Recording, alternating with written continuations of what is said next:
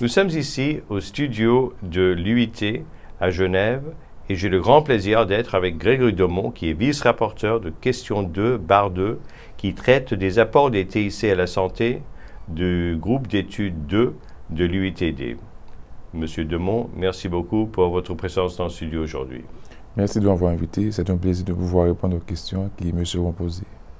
Je voudrais commencer par vous demander quel sera le principal résultat de votre question d'étude. Euh, la question d'étude s'intéresse aux apports des, TIC à la santé. Aujourd'hui, nous sommes tous conscients que les TIC sont utilisés dans différents domaines.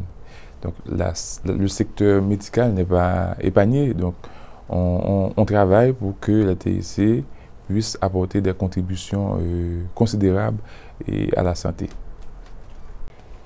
Quelle est la pertinence de la question d'étude à la réalisation des objectifs du développement durable? Euh, Cette question d'étude se trouve bien assis et par rapport aux objectifs euh, de développement durable. Bon, il y a cet objectif. Donc je crois que le numéro 3, c'est bonne santé et bien-être. Donc, cette question d'étude, c'est ça son objectif, c'est de pouvoir contribuer à la réalisation de, de l'objectif numéro 3. Et pour terminer, quelle est la contribution de l'UITD, des groupes d'études, pour le développement global du secteur des TIC les TIC font bouger le secteur sanitaire, mais en retour, en fait, les recherches dans, dans, ce secteur font avancer aussi les TIC.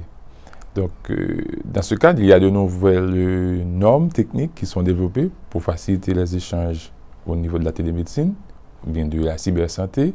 Donc, c'est déjà un apport. Il y a des nouvelles normes techniques qui sont développées et mises en place. Deuxième chose, il y a aussi de nouvelles applications qui sont développées. Donc tout ça, c'est des contributions que les recherches pour la santé fournissent au TIC. Merci beaucoup et euh, je vous souhaite une très bonne continuation ici. Merci de m'avoir invité. Merci pour tout.